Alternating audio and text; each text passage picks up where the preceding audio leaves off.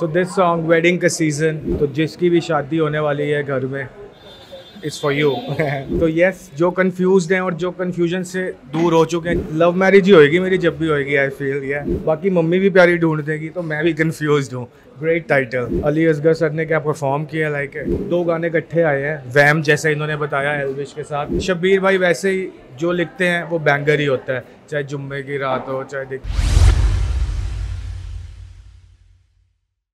hello and welcome to Bharat 24 so melody जैसे कि आपने बहुत सारे हिट ट्रैक्स दिए हैं लुका छुपी बदाई हो मनी के जैसे और रिसेंटली एलविश के साथ भी आपका कोलैबोरेशन रहा है।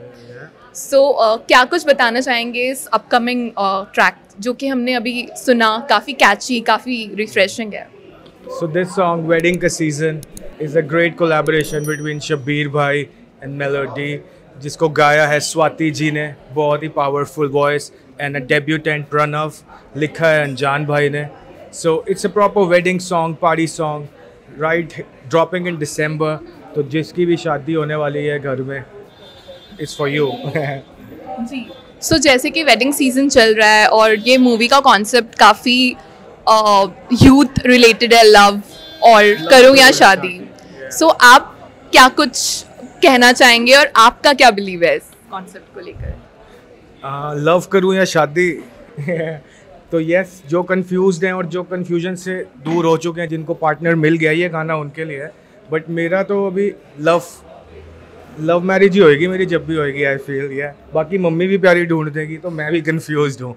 ग्रेट टाइटल जी. सो so, जैसे कि uh, ये सॉन्ग काफ़ी कैची है काफ़ी डिफरेंट कॉन्सेप्ट है. सो so, इसके लिरिक्स इसकी कंपोजिशन के बारे में क्या कुछ बताना चाहिए? सो so, इसे कंपोज किया शब्बीर भाई ने और लिखा है अनजान जी ने.